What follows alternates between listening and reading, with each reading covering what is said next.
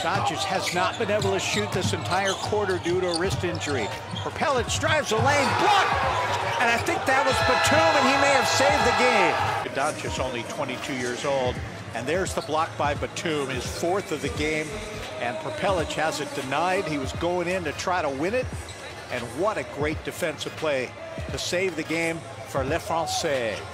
That was going to win it for Slovenia. That was going in. Batum, what athleticism. He's done it so often, With but never at a moment like this.